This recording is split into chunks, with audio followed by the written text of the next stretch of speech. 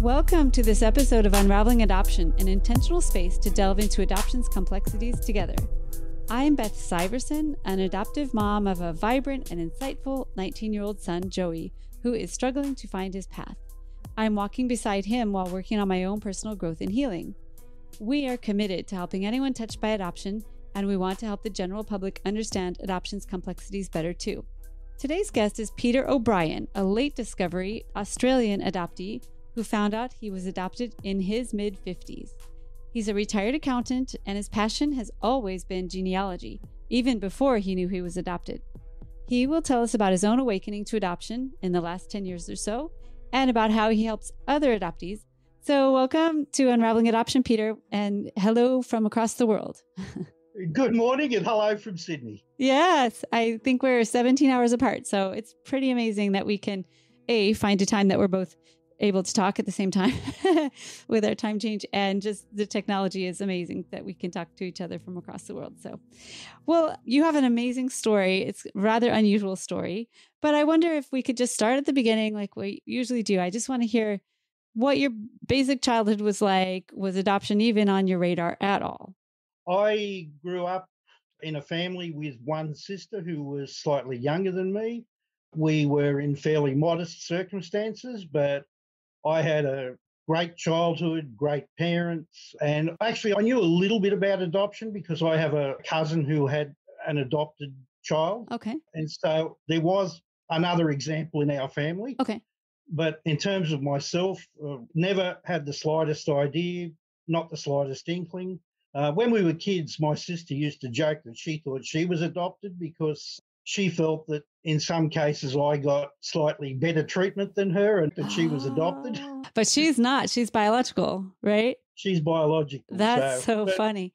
But never the slightest hint that I could have been. Or That's very ironic. Yeah, as it turned out. Yes. Yeah, and it's often the adoptee that feels less than than the biological child. So in your case, it was kind of flipped on its head. Well, in hindsight, I wonder whether my parents overcompensated. I bet. Yeah, they might have overcompensated, or it might just be the second born always feels. Or boy girl thing too. Yeah, boy girl. More, yeah, for sure. I had more freedom than she did, or less restrictions. So it could have sure. been that as well. Yeah, yeah. Oh, interesting, fascinating. So you were pretty close to your sister growing up, though. Oh yeah, we, we were close. We still are close. We're very close. Uh-huh. And you loved your family, and I assume everyone kind of looked like each other. Otherwise, it would have been obvious that something was not quite well, matching. Yeah, yeah, I don't look astoundingly different, but we all look like each other. And I had great family. I got great extended Uh-huh. family, lots of cousins and uncles and aunts. And Yeah. we spent a lot of time with family members when we were kids. Nice. In hindsight, I just can't believe nobody ever said anything over all the years. So before we get to how you found out you were adopted, how many people knew you were adopted? As it turns out, the only person who did not know was my sister. Okay. You and your sister were the only ones that didn't know. So all the cousins, aunts, uncles, everyone, the neighbors, teachers. Uh, yes, I'm pretty sure neighbours knew. I'm not sure about teachers because Okay. too many years later and I don't know any of them now. So I'm not sure about teachers, but certainly everybody in the family except my sister and probably neighbours. Wow, wow, wow, wow. You know, I've talked to several late discovery adoptees, 20s, 30s, 40s. You found out in your late mid 50s. Whew. I just can't even imagine what kind of earthquake would happen when you find that out. And I want to find that out from you, but how did you find out you were adopted? Well, my mother, who was in her 80s at the time, got dementia and had to go into a nursing home. So my sister and I hunted around and found a nursing home for her and got her into a nursing home and got her settled in the nursing home. And then, as I know now, one day my sister was visiting her and had a casual conversation with one of the staff in the nursing home. Mhm. And that person said to my sister something about her adopted brother. Huh. And my sister said, Oh, you've confused me with someone else. I've only got one brother and he's not adopted. Uh-huh. And the staff member said, Well, I think you better go and talk to your mother because she's talked extensively to people in the nursing home about the son she adopted. Whoa. And so my sister had a conversation with my mother and tried to get her in a lucid moment Uh-huh. and managed to do that. And so she confronted my mother. And my mother said, Yes, that's right. And he's really smart. He'll work it out. Oh, well. And so, oh, man. My sister agonized for a week or two because she didn't know whether I knew and just uh-huh. had never said anything. Yeah. Yeah, that would be a question, huh? Yeah, so she sat on it for a while because she thought maybe I did know and had just never said anything. Okay. Uh huh. Or maybe I didn't know and maybe she should just keep quiet. But anyway, eventually she came to grips with it and decided she should tell me. So she sent me a text message one morning and said, I need to talk to you face to face. Nobody's dead. That was nice and of her. So went, yeah, well, well, remember our mother's in her eighties. Yeah, right. Home, so, yeah, when you get your phone uh, calls from relatives at certain times of day or whatever, you're like, huh. Hmm. So anyway, I went round to see her, and she told me, and we burst into tears, hmm. and mm. that's how I found out. Wow. Now, at the time, you were in their mid fifties. Were you pretty stable, like emotionally? Oh, yeah, but, yeah, been married for thirty years, and got a daughter who's okay. self sufficient, and yeah, so yeah. you know, I was stable. Yeah. And then what did that realization do to you? What happened in the immediate aftermath of that? Well, I was shocked. I literally couldn't believe it. I bet. Um, because I'd never had the slightest inkling. Mm. And my mother had a really good friend who is still a really good friend. Well, she's passed away now, but at the time was still a really good friend who we were still in contact with. And so my sister and I rang her that morning and spoke to her and said, Is this true? Oh. And she oh. said, Yes, yes, it's true. I had many conversations with your mother about oh. it, and I told her many times she should tell you. Oh, really? Wow. And and I think at one stage, I think my mother may have even told her that she did tell me to get her off her back. Oh, wow, wow, wow. Yeah, I bet adoptive parents, sometimes I bet, especially maybe back then, they say, I'll tell him when he's ready. I'll tell him someday. I'll tell him later. and then later never well, comes. And then your son is in their mid 50s. well, uh, in Australia at the time, there was this thing called the clean break theory. Okay. And they used to tell adoptive parents that they should just take the kids yeah. home and then forget it ever happened and yep. just get on with life. Yeah, we call that the blank slate over here. Yeah. Yeah, clean okay, break. Well, same thing. Clean break. Yeah, same thing. Yeah, just like oh, nobody will notice. Just act as if they're yours and they are and it's all good and nobody will be the wiser so she was doing what they said and, and my mother was a very authoritative figure within her family mm. and she told everyone that she was never going to tell me and okay. nobody was ever supposed to tell me either oh wow so everybody had to keep a secret. They did a good job of keeping a secret, I have well, to say. they were all told they had to keep a secret, and they did. Oh my gosh! Oh well, my goodness. Very, my mother was held in very high regard oh, in her oh, family. She, they were going to cross her. No, no. Some people even refer to her as a saint. Oh wow. Okay, so she was like the matriarch of the whole community. Sounds like. Yeah, she was held in very high regard by all the rest of her family. So wow. they did as they were told. Yes, my grandmother kind of sounds like something like your mother, and they would not go against whatever she said. I can imagine that happening. oh my gosh. Okay, so did you feel betrayed or were you angry or relieved or I have very conflicting emotions because I was angry that they hadn't ever told me because I had never had the chance to find out or make any connections with biological yeah. family.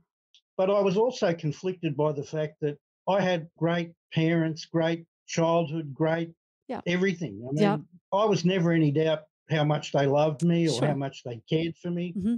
And so I was, well, I to some extent, I still am really conflicted by the fact that I'm angry with them because they never gave me the chance to get to know any of my biological family. So you did go searching, and were many of them already gone? The next morning, I made contact with some people to find the with the post adoption resource centre in oh, yeah. in New South mm-hmm. Wales, mm-hmm. and they helped me go through the process, and I was able to locate and contact my birth mother.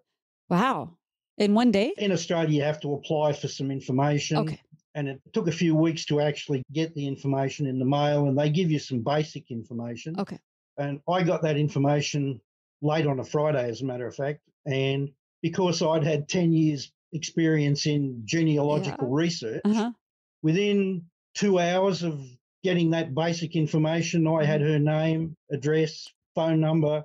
I knew where she lived. Oh and gosh. as it turns out, I had a cousin who was traveling in the countryside at the time, uh-huh. and I spoke to them, and she actually drove past her house the next day and took photos of the Oh house. Oh my gosh.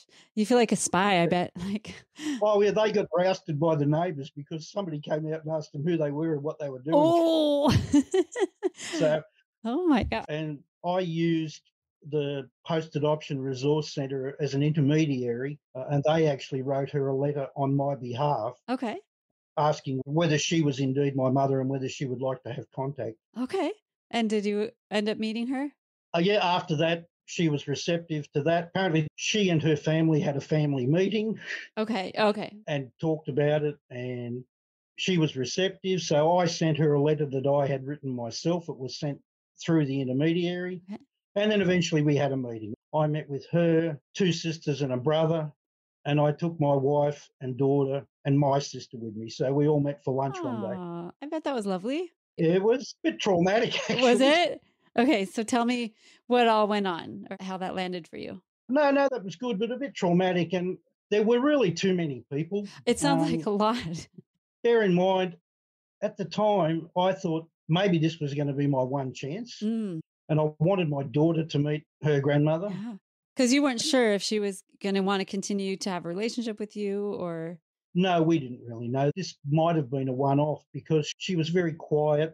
Okay. And I think she was somewhat overwhelmed I by bet. the whole thing. yeah, I bet. How old was she at that time? She must have been in her 70s then. In, in her 70s, Yeah. she would have been in her early 70s and not in robust health. Mm, okay. She was a bit overwhelmed by the whole thing. And in hindsight, there were too many people, but it was really the only way he could go Yeah. in those circumstances. So, So did you continue a relationship with her?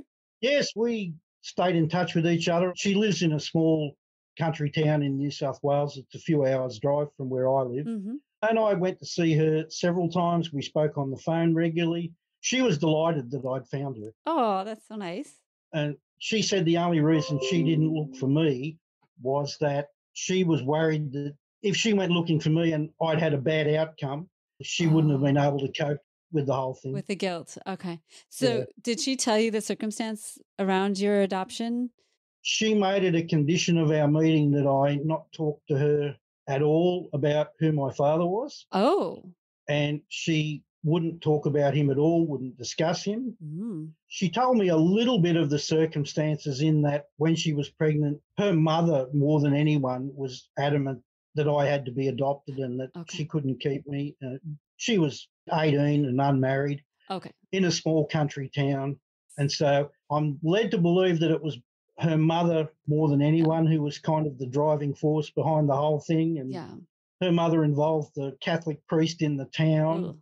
And she was sent to Sydney to a Catholic home for unmarried mothers in Okay. Sydney. Okay. And that's where she And had so you. Okay. that's where she had me. I've since discovered more of the circumstances around the whole saga. Oh, okay. But she gave you that part of the story, but said, if you want to see me, you have to never, ever ask about your birth father. Ugh. That's correct. How did that feel for you? Was that a price you were willing to pay, obviously, because you went and met her? Well, I mean, I hate to sound duplicitous, but I was happy to say that to her at the Uh-huh. time. Yeah. And you're like, oh, she'll change her mind. Oh, Well, on the basis that she may or could change her mind, Yeah. or that I would go about finding him in another way. anyway, yeah. But- Okay. But I was happy not to have that discussion with her, certainly initially. Yeah, and most adoptees, I think, are more gravitated toward their birth mom anyway. That's who you have the real connection with. So that makes sense. But that kind of stinks, though, that she just put a big wall up there. That uh, she had very strong negative feelings about my birth father uh, 55 years later. just anger toward him. Yeah. Oh. She carried that for a long time. wow, that's a lot to carry around over all those years. Oh, poor thing. Did you find your birth father? Did you find the rest of the story? Well, my birth mother eventually got dementia too. Oh, wow. And so before I could really press the issue with her, she also had dementia. Mm. And she passed away about a year after we met. And as a matter of fact, both of my mothers died within a month of each other. Oh my gosh, I'm so sorry. that was That that, very that was difficult. pretty that was pretty difficult. wow. So I was always determined to find out as much as I could about my father. So Mm-hmm. I did a DNA test Okay. After she was gone, you did a DNA. After she was gone, oh, okay. yeah. Mhm. I did a DNA test, and really I knew less than nothing about DNA. Okay. I did a DNA test with an American company called Family Tree DNA, Okay. and I got my results, and it was like a foreign language to me. I Mhm. couldn't make head nor tail of it, but I had only one reasonable DNA match, Mhm. but not close. Okay. And so I spent 12 months doing all the things I could, making contact with people, Okay. trying to learn about DNA, Okay. trying to figure it out. And after 12 months, I'd got basically nowhere. Wow. And around about that time, Ancestry started offering DNA tests in Australia. Okay. Uh huh. And so I did another DNA test with Ancestry. Okay. And in that test, I got some slightly better results. Okay. And then over the next three or four months, I got new DNA matches that were also more helpful. Because Australians now are all taking DNA tests through Ancestry. Yeah, So more and more people are getting into the database. Okay. there's more and more people in the database in Australia. Okay. And eventually I figured out had enough DNA matches and I was able to identify who I thought my grandparents were. Okay. And so I researched them and I found out they had three sons, Okay. one of which was significantly younger than the other two. Okay. So there was two brothers who I considered would have been too old. Okay. And they had a younger son who I thought was right in the sweet spot for the right age. Okay. And so I started researching him. Uh-huh. I found out where he came from. And that small country town has a Facebook page. Oh, nice. So I put a post on their Facebook page and said, I'm looking for family of these two people. Mm-hmm. And I got a message back from someone who said, Yeah, I know them. Their daughter lives out on such and such a road with her son. Ah. Okay. So his daughter was still in town. Wow. Yeah. Okay. So that woman, as it turned out, was my aunt, Okay. Oh, and her son was my cousin. okay. So I wrote him a letter Okay. and gave him some of the circumstances. And one day he rang me. Okay. Well, he and his wife together, actually. Okay. And I had a conversation with them and I explained what I was up to and what was going on. Uh huh. And they said to me, So who do you think your father is? And I told them. And he said to me, Yes, that sounds about right. Okay. So, long story short, he did a DNA test and we were able to prove that we were first cousins. Okay. And so that identified my father, Okay. who had passed away at the time. He had already passed. Okay. And was your mom right to be angry at him? Was he not a nice guy? Well, I don't know too much about him directly, but as I have pieced together the picture subsequently, he was married with two young children, was having a relationship with my 18 year old mother. Mm. When subsequent to my mother being pregnant, he left town, got divorced from his first wife, remarried, Hmm. moved to another town, had a second family, and the second family didn't know anything about his past, Oh, of any of it. Wow. Okay. any of it. They didn't know he'd had children from a Mm. first wife, let alone anything about me. Oh, no. So he just abandoned those first, well, the second and third child he had, right? He left town, got divorced, went somewhere else, got married again, had another family. Okay. So just start all over. It doesn't matter. Whatever. oh, gosh. Try again. Whoopsie.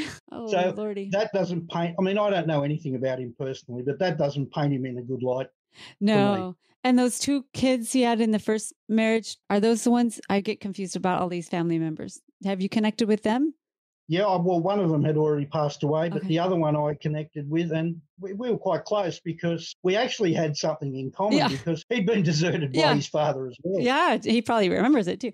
Wow. So we had something in common and we were developing a reasonably close relationship, Uh-huh. but he passed away a few years ago, quite Ah, young. So Dang. that was disappointing. Very. So it's so hard when you are a late discovery adoptee in your 50s because everybody's older and it's not like when you discover it when you're in your 20s or whatever, you know, you still should probably get on it, but you know, when you're later in your own life that just eliminates a lot of people that you would have been able to have a relationship with. That must be really sad. I've, I've found it really hard to make relationships with people because there's so many years where we have no common experience. We have nothing in common. Most of my birth family are what I will call from rural parts of Australia. Uh, uh-huh. I was adopted in Sydney, which Okay. is a large urban city. Yeah. So the city mouse and the country mouse kind of situation. Yeah, it's you know we we don't have shared family experiences. Yeah. We don't have shared life experiences. yeah. So the only thing you have in common is your DNA. So you meet for lunch and go, hey, I probably would never be friends with you Exactly. in any other context. Not exactly in those words. we wouldn't yes. tell that that but yeah it's like well how do you build something and do you really want to i mean you had a full life it takes a lot of work to build up these relationships i bet you spend a lot of time just kind of phone calls and navigating and meeting up with people Well, they weren't terribly receptive to oh that um, side wasn't to having a relationship, except one of my sisters I spent some time with initially, Uh-huh. but there was friction between the various siblings in that family. oh anyway. they all fought with each other oh gosh so they had some internal. ah Friction. so throw another sibling in there that probably just stirred it all Yeah. up oh boy ah it's so complicated And I had a relationship with one of my sisters for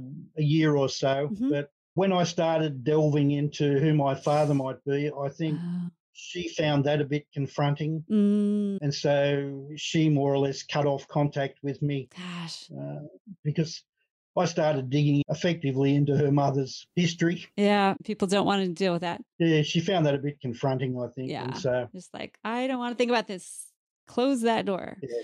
oh gosh are you on the whole are you glad you found out you were adopted or do you wish you would not have ever known that is a really good question. Um, I think I would have been quite happy if I never knew. Yeah. I mean, I had have a stable Yeah. family with lots of cousins and people that I have relationships with, and I'm not sure that other than the fact that I know, in inverted commas, the truth. Yeah. I'm not sure that I actually gained anything by finding out. yeah you didn't all of a sudden get these wonderful relatives that just warmly embraced you and brought you into their family did you have any medical questions or anything that got answered A few minor things, Yeah. but not not No- really. nothing major Um, Ugh. nothing major. I, as far as I know, don't suffer from any terrible diseases or okay anything like that. Um, Mhm. So, not really. and do you recommend now that adopted parents tell their kids Oh, absolutely. yeah As early as possible. yes before they even can remember it is what i always Yeah, absolutely. As, as early as possible Yeah. and to be as open as Yeah. possible. That's one of the things that really annoyed me. When I approached people in my family who knew, Mhm. some of them actually said to me, Well, why do you want to know? Oh, Um, yes. Ah, Just leave it alone. ah. I mean, I bet they you wouldn't say that if it was their own DNA, you know? Well, one of the things about the adoptee community is it's really us and them because Yeah.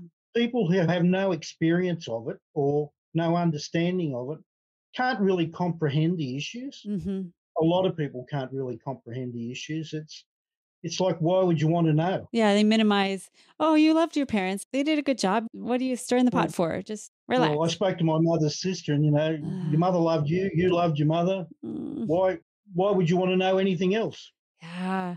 And it, it takes putting yourself in someone else's shoes. If you knew there was someone else out there that birthed you, yeah, you would want to know who that was, you know, obviously. if, but if people were able to put themselves in your shoes, and you say, well, wouldn't you want yeah, to know? yeah. I find that difficult to do. Yeah, yeah. And they're protecting whatever they might feel guilty that they never told you, or they might be protecting your adoptive parents or whatever. But man, let's think about the adoptee that is just stuck in the middle Well, of all this.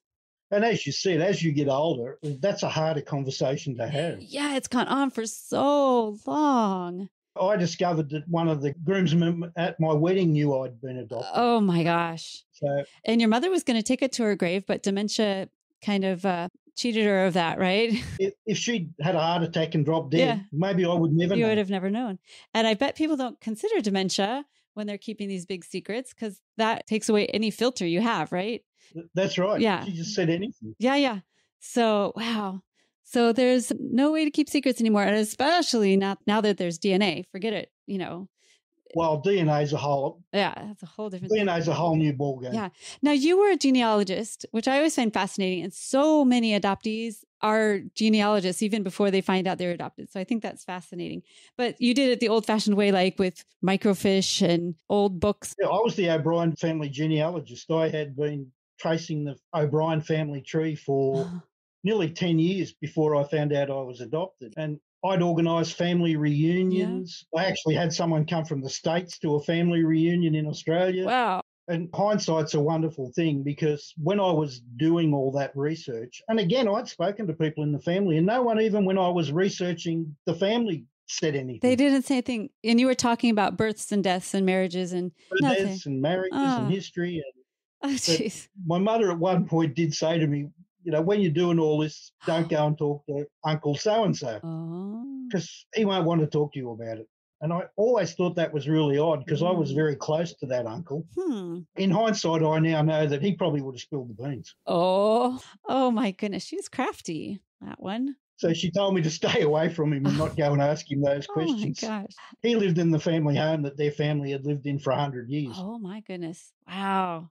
Now, once you started looking for your family and you discovered DNA, it took a long time to figure it out, but now you are helping other adoptees because it's very complicated. I understand. Yeah, look, it's a foreign language at 1st mm-hmm. uh, but once you sort of get familiar with it, it's not that hard. I don't delve deeply into the complicated science of it as such, but with Ancestry DNA particularly, it's simplified down. And when you do your DNA test, you get a list of people that you match with, mm-hmm. that you share DNA with. And you can start to build patterns amongst the people that you share DNA with, and you can work out patterns and mm-hmm. relationships. So, having taken two and a half years to figure out my own uh-huh. situation and figure out who my birth father was, I started helping people who were in a similar situation mm-hmm. try and figure out who their families were. And I've had some success at that. Yeah. And are you a staff person or a volunteer? I know I do everything on a volunteer basis. Wow, that's incredible. I'm associated that organisation, the Post Adoption Resource center mm-hmm. in New South Wales. I'm associated with them now, and if they have clients who need help with analysing their DNA, mm-hmm. they refer them to me. Wow, that's so uh, great. And I help them with their DNA research. I've done things for my local family history society. Nice. Um, a woman who lives around the corner from me turned out she was adopted. Oh, no kidding. We'd known her for quite a few years and I didn't know she was adopted. Obviously, she didn't know I was adopted. Oh, my gosh. I talked her into doing a DNA test and mm-hmm. took me four years, but eventually I figured out who her family were and found who her father was. Wow. I bet that's such a welcome help because when adoptees find out, especially if they're late discovery, like you, you were, you've got a lot to deal with just emotionally and just the impact of that. And then to try to learn a whole new language of this DNA genealogy stuff, that must take a large weight off of people to have you help them. And at the start, people with DNA too, sometimes you don't find out you're adopted until you do a DNA test. Yeah, sometimes that's how you find out, right? Are you familiar with the NPE term, not parent expected? Yeah, different people attribute different words to NPE, but yes, not parent expected is the phrase I prefer to use. Yeah. So you learn, oops, that wasn't my dad who I thought was my dad. Usually it's the dad. Well, what I've discovered is that I think you'll find in most families and most extended families, there are circumstances where people don't have the parent they expected. Mm-hmm. And DNA tests have really unraveled all of that. Yep. I had a DNA match who was a second cousin and I could tell by the relationships between all our DNA matches pretty much where he fitted into the family tree. Okay. And he had a family tree that was completely wrong. Oh, okay. And so I reached out to him and said, Hi, you know, I can see we're probably second cousins. And uh-huh. I said, I see you've got a family tree, but it doesn't look right. Uh-huh. And as it turned out, he was adopted too and didn't know it. Oh, oh no. And, and so I didn't hear from him for quite a while. It took him a while to oh my to get his head God. around that situation, and then eventually he came back to me and said, hey, "Yeah, we need to talk." So that's why his family tree looked all messed up because he was looking yeah, at the wrong family. Well, he didn't know he was adopted. Oh, he was oh. in his seventies. No way. Oh my gosh. Okay, people, quit doing this to people quit the secrets. This is so harmful. Yeah, it is. It's terrible. And they're all going to come out now. Yeah. Any young moms giving birth nowadays, there's just no way you can ever keep that a secret. But people my age and older, I think, there's still quite a few secrets there that are going to get found out because people give these for Christmas presents, the DNA well, uh, tests. And the sociologists have sort of advanced now too. And the current theory is that you do tell people and that you don't yeah. keep it a secret. Yeah. But back in those days, it was all a secret. Yeah, there was so much shame involved. I attribute a lot of it to misogyny and just women felt like they did something wrong and have to hide and be ashamed of things. And ah, uh, I hope that that tide is turning for sure. Well, it's probably got to do with the Victorians because mm-hmm. if you do genealogy, two, three hundred years ago, mm-hmm. There was probably more sense of unwed mothers and mm-hmm. you know, it wasn't so stigmatized uh-huh. probably a couple of hundred years uh-huh. ago. But then in the last 100, 200 years, it got really stigmatized, and then we seem to have gone back around the circle again. Yeah, yeah, I guess so. Complicated. Don't forget, a couple of hundred years ago, you needed to know a woman could have children before you wanted to actually marry her. Oh, is that just testing out, testing out the equipment? Well, you needed to have children because you needed children to look after you in your old age. For sure, to run the farm or whatever. Oh my gosh. Yeah, that's right. So uh, a couple of ah. hundred years ago, you needed to know that women could have children. Okay. So yeah, uh, kick the tires a little bit, make sure. And we've gone all around the circle. Yeah, now we're back at it. Now people don't need to get married to have children, and gay people having children, all sorts of different things. So it's interesting, yeah. but I hope that it continues to have a sense of openness because certainly these secrets are just toxic and just complicate matters way more than they needed to be. Well, secrets are the worst because I wouldn't have thought any less of my adoptive parents if I'd found out yeah. when I was a lot younger. Yeah. I would have just had the opportunity to have relationships with biological family. Yeah. I grew up with one sister and I would have loved to have a brother. Oh, would that have been nice? Ugh. As it turned out, I had a couple of brothers. I've got one left, but we're mm. not really mm. in touch. Not really close. Yeah, sometimes adoptive parents think it's going to take something away from you if you open it up, but I think it just is additive. Everybody gets more, and there's room enough for all of us. That's right. Know. If people could see it as adding something rather than taking something away. There's no competition uh, here. And uh, we can be helpful if we want to be. that would be nice. You know, oh, you want to find your birth mom? Let me help you. That would be good. Yeah. My birth mother was really grateful to my adoptive mother. I bet. Because she didn't have much choice in the matter. So she was glad that you got to a good family and had a wonderful childhood. Yeah, yeah. She was very happy and she was delighted by the fact that I was happy and well and healthy and looked after. Nice. And, and, all those sort of things. So I think if they could have met 20 years earlier, I think they would have had a positive reaction. Yeah. You know, maybe they would have been friends. Who knows? There's all sorts of ways people are building families and creating communities around themselves. So openness is a good thing. Is there anything else you'd like to say or mention that I didn't ask you about yet? I, I always tell adoptive people that I work with when we do DNA work and we find birth families, I always just tell people to manage their expectations. Mm-hmm. Uh, and you don't always get a Kodak moment. So, yeah. Adoptive people who are looking for birth family always are hoping for a positive, yeah. uh, embracing sure. outcome. Yeah. And that's not always the case. So I always just tell people to manage their expectations. Yeah. It's probably not going to be the fantasy that you have in your mind. May not be. It might be. Might be better than you thought but it might be really challenging.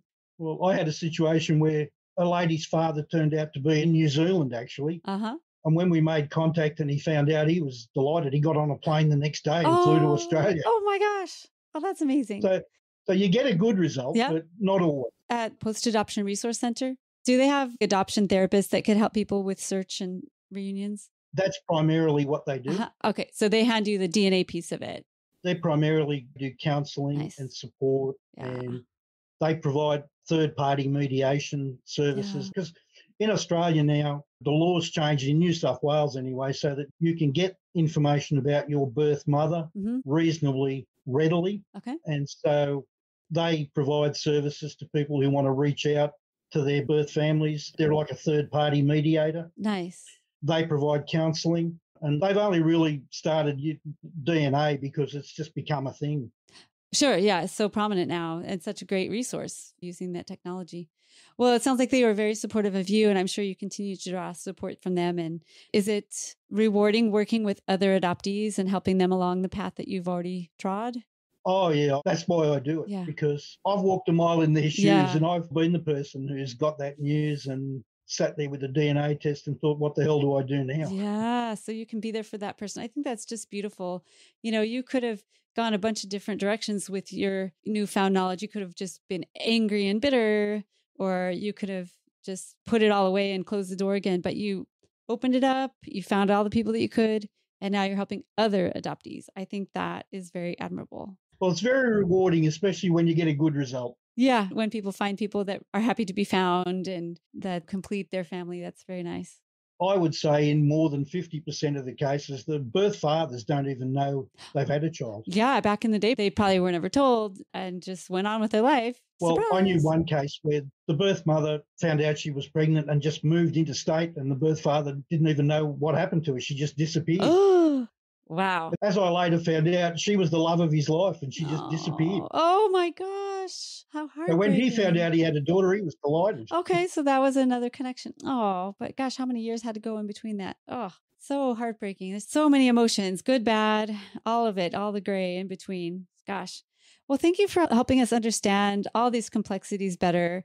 I think your story is really remarkable. And beware, dementia, people, the secrets can come out. No filters when you've got dementia. Yep, no filter. And just as open as we can possibly be with everyone touched by adoption. Just try to be as open as possible. Well, very nice to meet you, Peter. I wish you all the best. Thanks, Beth. It's been delightful. Yeah. And is there a way people can get a hold of you if they'd like to talk to you? You have my email address. It's P for Peter, M for Michael, O for Oscar. So PMO 2167. Okay. All right. I'll put that email in the notes. I'm sure people would love to I'm, talk I'm to you. happy to hear from any Australian adoptees, Nice. particularly if they want some help with their DNA. All right. Would American adoptees be welcome as well? oh, absolutely. But, but you can't really help them with their DNA. well, I can. But oh, I guess you could. Americans are actually easier because there's a bigger database. Yeah, for sure. And I understand other countries are very small, like Asia. That's not a country, but the whole region is very low in the database. Yeah, they've got low testing numbers, Mhm. and it's actually illegal in France. Isn't that weird? I don't understand. Yeah, that. I don't know why, but it, it's illegal to do a DNA test in France. That's so bizarre. So I don't know why, but I've collaborated with a few American genealogists on things that have touched in Australia. Yeah. Well, we had Julie Dixon Jackson on the show several episodes ago. She is actually from Australia. She's an American DNA expert. So if you haven't heard her episode, go ahead and find that one. I'll put that one in the show notes too. I can do that because I'll go back and have a look for that one. Yeah, yeah. It's a really good one. And she's made it her whole career to be an investigator. It's pretty cool. All right. Very good. Well, thank you so much, Peter. And listeners, please share this episode with somebody you know that might be interested in hearing this wonderful story. And if you'd like to support the podcast, well, that's one way you could share the episode. You can also support us by joining Patreon with a $5 a month or more donation. That helps me keep going with the software I need and it helps keep these episodes commercial free. And I want to give a big shout out to our newest Patreon member, Jenny Becknell. Thank you so much for your support and to all of my Patreon supporters. Thank you very, very much. And I do have an adoptive parents group if anyone is an adoptive or foster parent. It's called Aptitude, and you can find more about it at our website, unravelingadoption.com. Well, thanks again, Peter, for joining me for this conversation. I wish you all the best. Thanks, Beth. Yeah. And Peter and I want you all to stay, Stay safe.